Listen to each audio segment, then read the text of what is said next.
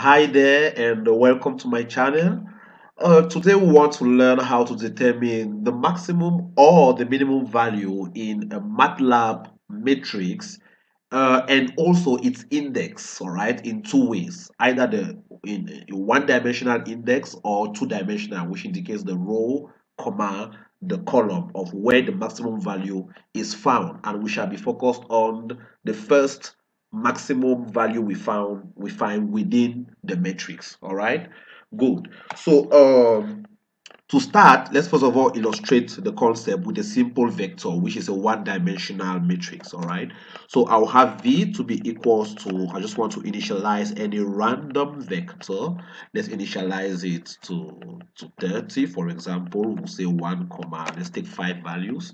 Okay, so as we see this vector, we see we have 1, 2, 3, 4, 5. Obviously, the maximum value here will be 24 and the minimum value will be 6 all right so the MATLAB functions which enable us to get those values is max of v for the maximum all right v here is the vector.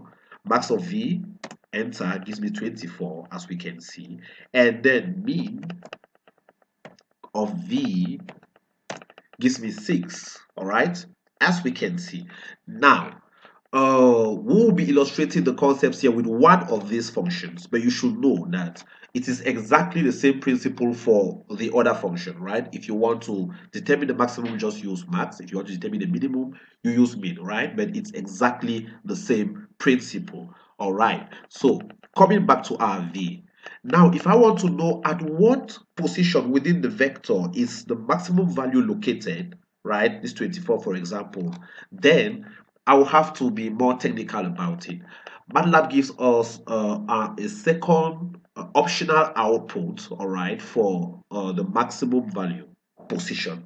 Okay, so for that, I will need to do something like open my brackets, all right.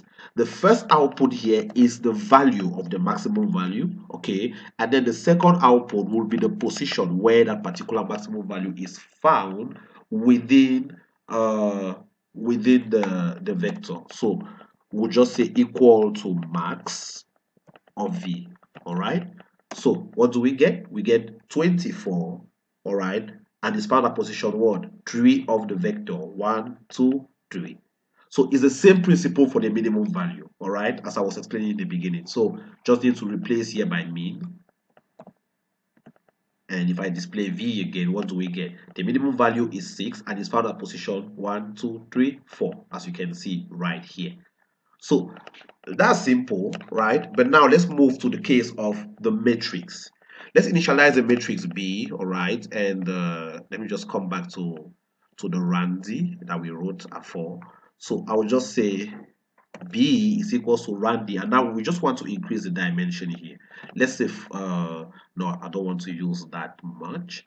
Let me say 3 by uh 4 all right? 3 by 4 so we have that okay? So here what do we get? The maximum value here obviously is is 29 all right? So how do we get the position of the maximum value? I'll start with the one dimensional position the way MATLAB stores its arrays in memory is this way. It is this first, this, this. So it is column by column. All right. So it stores this column, then this column, then this column, then this column. A way of saying, if I say B of 4, for example, right? B of 4 will be 1, 2, 3, 4. All right. So if I press enter, that's 23. So B of uh, let's say 11 for example what would be ba of 11 1 2 3 4 5 6 7 8 9 10 11 all right so 11 is actually my maximum value.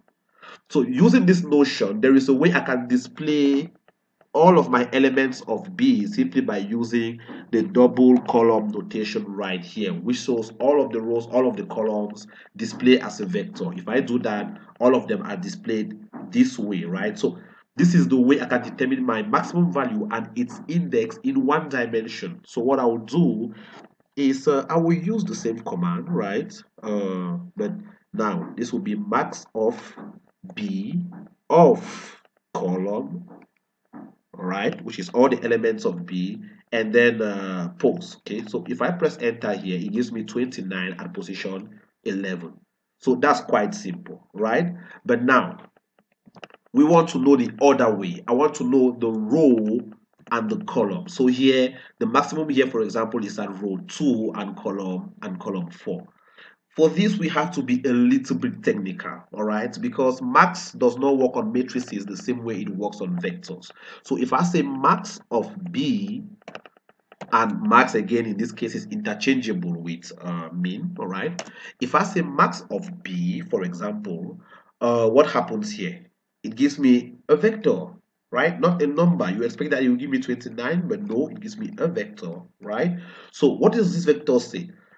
it gives me the maximum of the first column which is 22 then the second column which is 23 then the third column which is 20 and the fourth column which is 29 and if i use uh, the order notation to say max of b not max of b colon even the position is all right let me display b down again even the position here is what is a vector which gives me the maximum position in the first column. So 22 here is found at position, let me try to see what I can go a little bit up. 22 here is found in position 1, 2, 3, hence the 3 here. Okay, uh, 23, which is the maximum here, is found in position 1 of this column. So it's the first item in this column. And then uh, 20 is the first item in this column. 2 is the second, uh, 29 rather, is the second item in this column. All right. So it means to get the row and the column, I have to be a little bit more technical, all right? So the way I will do that uh, is to say, um, uh, let, let's, let's go ahead and do this. So the first items will be all the rows, all right? You'll be max rows. No, let, let, let, let's just leave it like that. All the rows, okay? And if I want just those values, no, let me just leave it like that.